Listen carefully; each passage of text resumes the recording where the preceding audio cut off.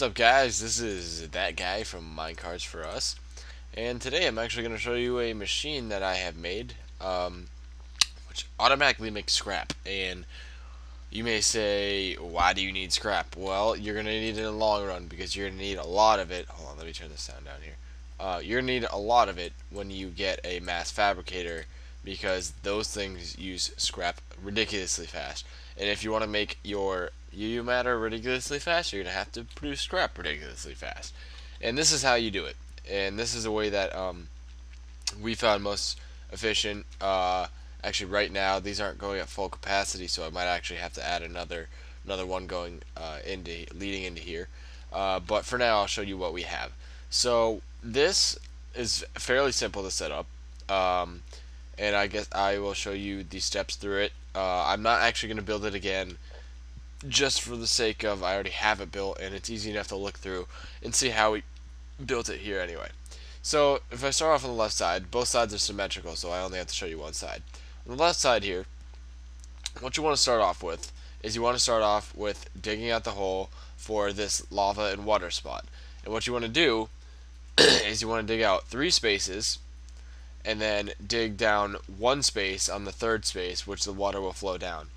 Excuse me, sorry, I'm a little bit sick or allergies. I don't really know what it is right now, but I'm congested and it sucks. But anyway, so you you want to put your water in there. When you put your water in there, it'll that uh, by digging that block down right there, it's going to keep the water from flowing to the other side. And then once you place the lava over here, uh, the lava will meet with the water and it will create cobblestone. Now you want to make sure that you have this set up exactly like I do, or else you will end up creating um, obsidian and it's going to frustrate you a lot because uh, of the way that it works out in Minecraft. Now, this thing right here, what I have is a block breaker. And I will show you in Not Enough Items how to make this. Uh, if I look up block breaker uh, right now, um, if I look here, you can see that it consists of six cobblestone, uh, three along the left side, three along the right side, a piston in the middle, an iron pickaxe on top, and redstone on the bottom. And what this does is exactly what it says. It breaks blocks for you. Now, what I did before before I put in this water and lava was I mined out this uh, this block right here, and I looked up and I put a block here and a block here, and I I placed the block breaker down so it would be facing uh, down. And then I just put the block back and took away these blocks so it's facing down. And uh, this will, um, and then you can put down the lava and the water, and this will allow you to break the cobblestone block that is produced there.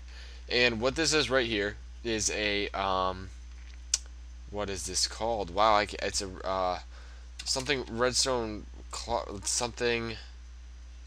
I'm sorry, I can't remember the exact name of it. I will look and tell you in one second. I just need to find it.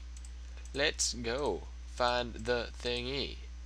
I look dumb with. Okay, here we go. Uh, it's called a timer. There we go. That's yeah. It's called a timer. Anyway, now how to make a timer is you make a bunch of stone wires and stone anodes. These are simple things to make. Uh, and if you're using Tekkit, you have this as a uh, resource. So if you come here and you push R on something that you need to figure out to make, you just uh, push R on it to figure out the individual things. And let's see here. So if you just what's this? You cook a stone, you make stone wafers, uh, and then you can make stone wafers into the redstone, go back more, and then you uh, continue to produce these other things. Excuse me.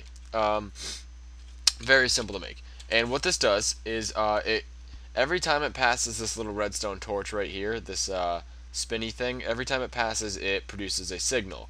So when you right click on this, you can set the interval. I have it set for 1.5 seconds. So for one full rotation takes 1.5 seconds to go all the way around. And it will send that signal every 1.5 seconds. And that's what it's doing. Uh, it is um, sending that signal to this block breaker telling it to break a block. And that, that block you can't see right now because we're on a server and there's a bit of lag so you can't really see it. Um, but it is breaking the blocks, and above there is a hole, which you just place a chest on top, and uh, it places the blocks in here. And uh, this chest collects all the cobblestone blocks. And then above, I placed a wooden pipe, which um, wooden pipes are required because a wooden pipe actually sucks out items from a chest powered by an engine. And if you use redstone engines, it's quite easy because redstone engines, once they heat up, um, they start going faster and they don't explode, and you don't need any kind of power source for them. Now, if you want to know how to make a redstone engine, I'll, I'll look it up here for you. And I will show you. It's quite simple. All you have to do is make piston, wooden gears, glass, and wooden uh, planks. And wooden gears are just sticks, so that's easy enough. Uh, very simple to make, very easy, low uh, low cost. um, and then all I did was place a golden pipe here because golden pipes uh, speed up the process once you uh, power them with a redstone torch or any uh, type of red power. The torches work easiest, and the way that I have it, it's powering both the engine and this. So um, that's the simple setup right there. And then once you have all of that set up, all you want to do is set up a pipeline going to where your um, your recyclers are. And uh, I just have an iron pipe here, which means that this uh, makes it so that if you see the shaded area here, the shaded area here, means that this tube won't go into this tube and this tube won't go into this tube. They both go down into these tubes, which then separate into these both both of these recyclers. Excuse me. Um, and these recyclers will automatically, as you can see, I have four overclockers, and the overclocker upgrades just make these produce um, the scrap quite a bit faster and uh, then I have on the si each side of them. I think I'm pretty sure you have to have these pipes uh, that have the stone coming from them leading into the top, or else it will go into a. See, it's like if you look at the machine and then you look at how these boxes are set up, like that's where something enters. So if something enters from the top, it will be placed into this uh, box. And if something enters from the right side, it will be placed into into here or maybe the left side also, and from the bottom it will be placed in the bottom. So you have to have these tubes feeding into the top and these tubes sucking out from the side. So if you have those, you'll be fine. If you're finding trouble with that, you probably have something wrong. But um, so this is how I have it set up. And then so when scrap is produced, uh, these engines work exactly just like that uh, wood pipe over there, and they suck out the scrap and place them into chests. Now these chests are just simple chests, and it just continues to make scrap the entire time. And that's pretty much how it goes. Uh, in order to pipe uh, power these, all I have back here, I'll show you real quick, um, is a bat box right here, which is being powered by, what am I getting hurt by? Holy skeleton and stuff. That was, yeah, see, I forgot to put torches back here. That's my mistake. And now the skeleton's to kill me because I can't get to it. Oh, jeez. Come on. Come on.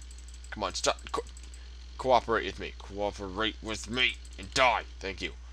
Um, okay, yeah, I have to put torches back here. But anyway, these are just water strainers, and water strainers are simple mechanisms that uh, when you feed water into them, uh, they produce electricity. And I have that leading into an MFE, which goes into a low voltage uh, transformer, and that goes into the bat box. And I'll explain more stuff about that later if you want me to.